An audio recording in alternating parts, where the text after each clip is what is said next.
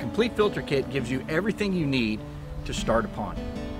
In this kit, you get the pump, you get an aeration piece to it or the fountain part.